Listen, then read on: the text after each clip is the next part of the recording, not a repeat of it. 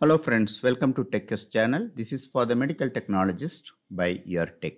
In this video, we will discuss about using our own internal QC material for quality control. We ran the QC for all chemistries and all are good. We started running the patient samples. After one hour, we noticed that a particular analyte, for example, urea results are high for 5 to 6 patients samples in a row. What's the next step? This could be a coincidence that all the samples from kidney dialysis unit or the analytical method, the instrument, reagent or something wrong in the analytical method. First step, do not release or validate the results. Second, is there any correlating test available for this test? Luckily, when urea results are increased, the creatinine results are also high when there is a issue with kidney function. So check the creatinine results for increase for all these patient. Yes, all the samples have increased urea and creatinine level. Then wait till you get a normal urea and creatinine results from the same instrument before validating the results. If the urea and creatinine can be correlated, then we need to run a quality control. Run a sample that was ran after the QC results that was having low or normal urea and creatinine test. If we are getting the same results or within the allowable error range, then we can be sure that the analytical method is good and validate the test results. If the repeat test shows high, that is more than the allowable error range, it shows that something wrong with the analytical method and we need to fix it.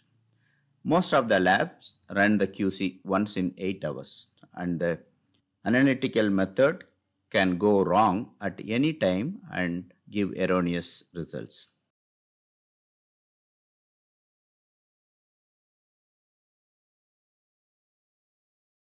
The technologists validating the test results should be very careful to watch the results with delta results, reference range and should be able to correlate the doubtful results with other test results.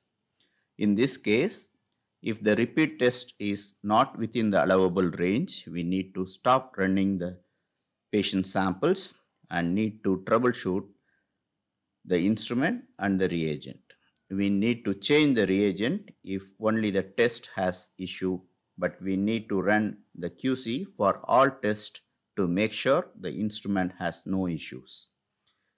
If all the QC results are within the range, we can run the patient sample.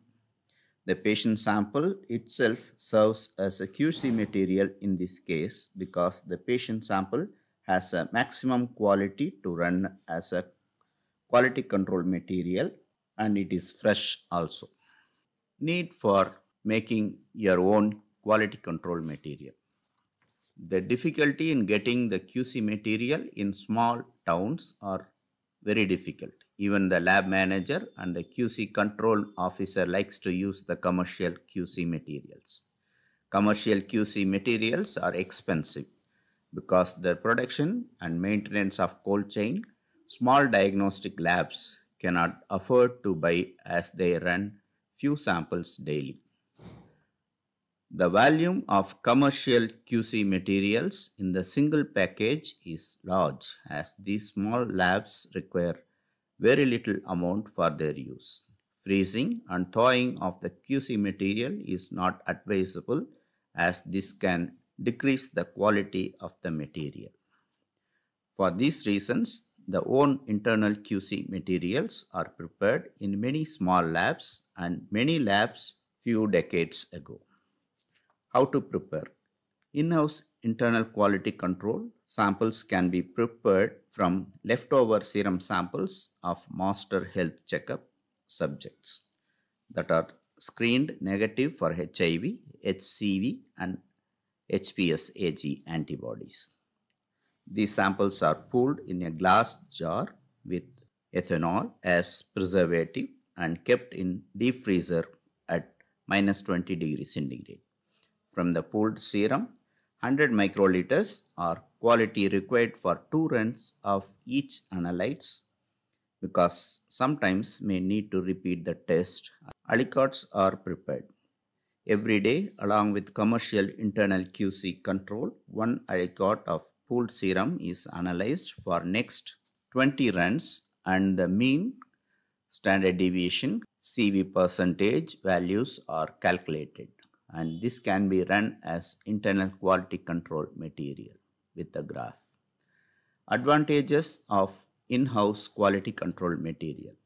Since the internal quality control are prepared from the samples, the matrix is same as patient sample compared to commercial quality control material matrix. It is cheaper than commercial internal quality control materials. Easy to prepare. The required quantity of sample internal QC material sample can be used.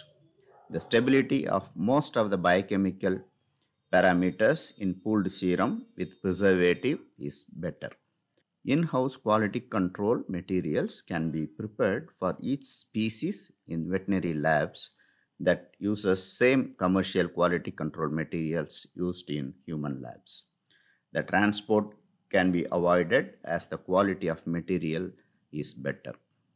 Disadvantages of in-house internal quality control materials. The low levels and high levels pooled serum are difficult to prepare. Many labs may not have minus 20 degrees centigrade refrigerators in small towns. The cold chain should be maintained.